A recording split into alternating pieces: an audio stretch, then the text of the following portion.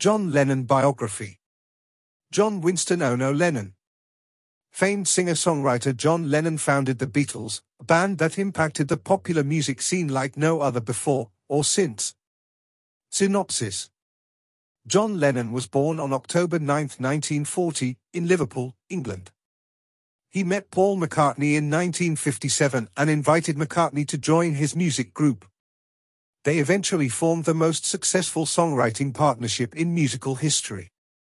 Lennon left the Beatles in 1969 and later released albums with his wife, Yoko Ono, among others. On December 8, 1980, he was killed by a crazed fan named Mark David Chapman. Early life Famed singer-songwriter John Winston Lennon was born on October 9, 1940, in Liverpool, Merseyside, England, during a German air raid in World War II. When he was four years old, Lennon's parents separated and he ended up living with his aunt Mimi. Lennon's father was a merchant seaman. He was not present at his son's birth and did not see a lot of his son when he was small. Lennon's mother, Julia, remarried but visited him and Mimi regularly. She taught Lennon how to play the banjo and the piano and purchased his first guitar. Lennon was devastated when Julia was fatally struck by a car driven by an off-duty police officer in July 1958. Her death was one of the most traumatic events in his life. As a child, Lennon was a prankster and he enjoyed getting in trouble. As a boy and young adult, he enjoyed drawing grotesque figures and cripples. Lennon's schoolmaster thought that he could go to an art school for college, since he did not get good grades in school, but had artistic talent forming the Beatles. Elvis Presley's explosion onto the rock music scene inspired a 16-year-old Lennon to create the skiffle band called the Quarrymen, named after his school. Lennon met Paul McCartney at a church fete on July 6, 1957. He soon invited McCartney to join the group, and the two eventually formed one of the most successful songwriting partnerships in musical history. McCartney introduced George Harrison to Lennon the following year, and Harrison, and out college buddy Stuart Sutcliffe also joined Lennon's band. Always in need of a drummer, the group finally settled on Pete Best in 1960. The first recording they made was Buddy Holly's That'll Be the Day in 1958. In fact, it was Holly's group, the Crickets, that inspired the band to change its name.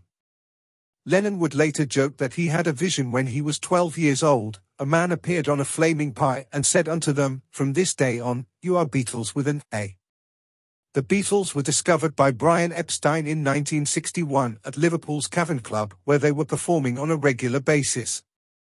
As their new manager, Epstein secured a record contract with EMI. With a new drummer, Ringo Starr, Richard Starkey, and George Martin as a producer, the group released their first single, Love Me Do, in October 1962. It peaked on the British charts at number 17. Lennon wrote the group's follow-up single, Please Please Me, inspired primarily by Roy Orbison, but also fed by Lennon's infatuation with the pun in Bing Crosby's famous lyrics, Oh, please, lend your little ears to my please, from the song, Please. The Beatles, Please Please Me, topped the charts in Britain. The Beatles went on to become the most popular band in Britain with the release of such mega hits as She Loves You and I Want to Hold Your Hand. Lennon married Cynthia Powell on August 1962. The couple had one son together, Julian, who was named after Lennon's mother. Cynthia was forced to keep a very low profile during Beatlemania. She and Lennon divorced in 1968.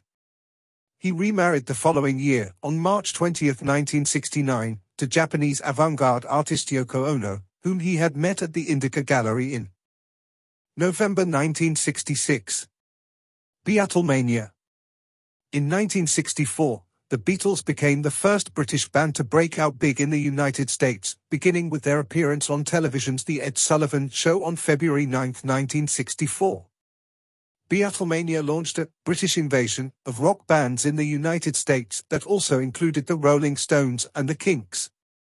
Following their appearance on Sullivan, the Beatles returned to Britain to film their first film, A Hard Day's Night, 1964, and prepare for their first world tour.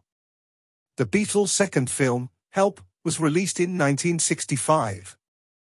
That June, Queen Elizabeth II of England announced that the Beatles would be named a member of the Order of the British Empire. In August 1965, the foursome performed to 55,600 fans at New York's Shea Stadium, setting a new record for a largest concert audience in musical history. When the Beatles returned to England, they recorded the breakthrough album Rubber Soul, 1965, noted for extending beyond the love songs and pop formulas for which the band was previously well known. The magic of Beatlemania had begun to lose its appeal by 1966. The band members' lives were put in danger when they were accused of snubbing the presidential family in the Philippines. Then, Lennon's remark that the band was more popular than Jesus now incited denunciations and Beatles record bonfires in the US Bible Belt. The Beatles gave up touring after an August 29, 1966, concert at San Francisco's Candlestick Park. After an extended break, the band returned to the studio to expand their experimental sound with drug-influenced exotic instrumentation, lyrics, and tape abstractions.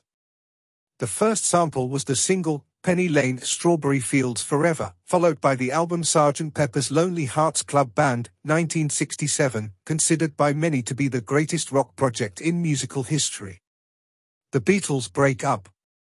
The Beatles then suffered a huge blow when Epstein died of an accidental overdose of sleeping pills on August 27, 1967.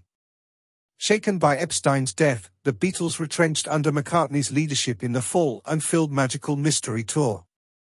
While the film was panned by critics, the soundtrack album contained Lennon's I Am the Walrus, the group's most cryptic work yet. Magical Mystery Tour failed to achieve much commercial success, and the Beatles retreated into transcendental meditation and the Maharishi Mahesh Yogi, which took them to India for two months in early 1968. Their next effort, Apple Corps Limited, was plagued by mismanagement. That July, the group faced its last notably hysterical crowd at the premiere of their film Yellow Submarine. In November 1968, the Beatles' double album The Beatles, also known as the White Album, displayed their divergent directions. By this time, Lennon's artist partnership with second wife Yoko Ono had begun to cause serious tensions within the group. Lennon and Ono invented a form of peace protest by staying in bed while being filmed and interviewed, and their single, Give Peace a Chance, 1969, recorded under the name The Plastic Ono Band, became a national anthem of sorts for pacifists. Lennon left the Beatles in September 1969, just after the group completed recording Abbey Road. The news of the breakup was kept secret until McCartney announced his departure in April 1970, a month before the band released Let It Be, recorded just before Abbey Road. Solo career not long after the Beatles broke up, in 1970, Lennon released his debut solo album, John Lennon Plastic Ono Band, featuring a raw, minimalist sound that followed Primal Scream, Therapy. He followed that project with 1971 Imagine, the most commercially successful and critically acclaimed of all Lennon's post-Beatles efforts. The title track was later named number 3 on Rolling Stone magazine's all-time best songs list. Peace and Love, however, was not always on Lennon's agenda. Imagine also included the track, How Do You Sleep, a vehement response to veiled messages at Lennon in some of McCartney's solo recordings. The Friends and former songwriting duo later buried the hatchet, but never formally worked together again. Lennon and Ono moved to the United States in September 1971 but were constantly threatened with deportation by the Nixon administration. Lennon was told that he was being kicked out of the country due to his 1968 marijuana conviction in Britain, but the singer believed that he was being removed because of his activism against the unpopular Vietnam War. Documents later proved him correct. Two years after Nixon resigned, in 1976, Lennon was granted permanent U.S. residency. In 1972, while battling to stay in America, Lennon performed at Madison Square Garden in New York City to benefit mentally handicapped children and continued to promote peace. His immigration battle took a toll on Lennon's marriage, and in the fall of 1973, he and Ono separated. Lennon went to Los Angeles, California, where he partied and took a mistress, May Pang. He still managed to release hit albums, including Mind Games, 1973, Walls and Bridges, 1974, and Rock and Roll, 1975. During this time, Lennon famously collaborated with David Bowie and Elton John. Lennon and Ono reconciled in 1974, and she gave birth to their only child, a son named Sean, on Lennon's 35th birthday, October 9, 1975. Shortly thereafter, Lennon decided to leave the music business to focus on being a father and husband. Tragic death. In 1980, John Lennon returned to the music world with the album Double Fantasy, featuring the hit single, Just Like, Starting Over. Tragically, just a few weeks after the album's release, Lennon was shot several times by a deranged fan in front of his apartment complex in New York City. Lennon died at New York City's Roosevelt Hospital on December 8, 1980, at the age of 40. John Lennon's assassination had and continues to have a profound impact on pop culture. Following the tragic event, millions of fans worldwide mourned as record sales soared.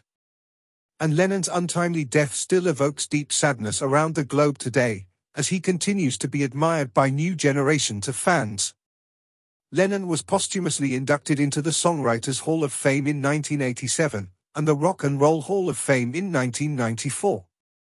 Quotes If someone thinks that peace and love are just a cliche that should have been left behind in the 60s, that's a problem.